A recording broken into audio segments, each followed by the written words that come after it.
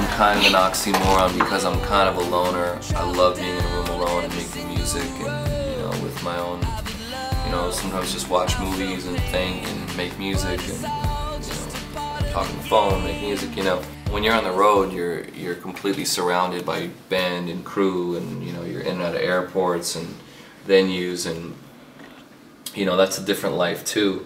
And I love also being part of like a clique like Cash Money and and having a team and having people support what I do. So it's just, it's like a mixture of both. I hope it doesn't fall on me.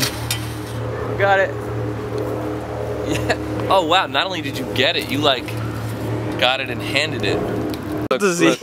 You know what? I, I, am gonna be. I want to be the modern Woody Allen of of just commentary but really just all about the internet. Because, I mean, I, I don't even think Woody Allen actually knows these things exist. He doesn't have a computer. I mean, he, he, he writes all, I saw the documentary, he writes all his scripts on a, like an old typewriter from the 50s.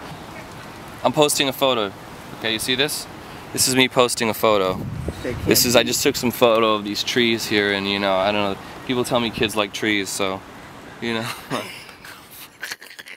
the new record is called Don't Give Up and I mean that one's pretty self-explanatory. That one's just it's kind of got like a little bit of a throwback I don't know Stones vibe in a, in a way a little U2 vibe in there. It's just a very like big message record but it's not preachy. You know don't look at what anyone else is doing. Don't don't care what anyone says. Don't let anyone discourage you from doing what you want to do and being who you want to be and that's the whole message of the song. Holy crap! Hopefully it doesn't fall on somebody.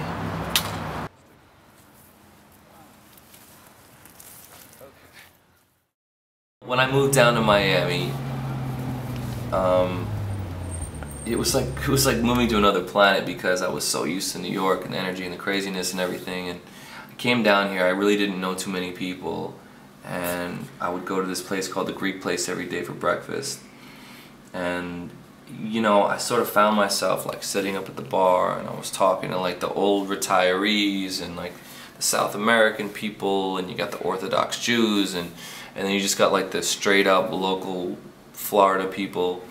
And it was just part of my like daily life you know? I don't know how it happened. I just started like hanging out and you know you just sort of start conversations with people. And I still talk to all those people. I see a lot you know, a lot of them when I go back there, it's cool because it's like, it gave me the feeling like a hometown rooting for you because I grew up in New York and it's not really that hometown like rooting for you thing. It's more like everybody's just trying to do their thing and so that's my like, that's where I got the feeling of like a kind of hometown rooting for you thing. So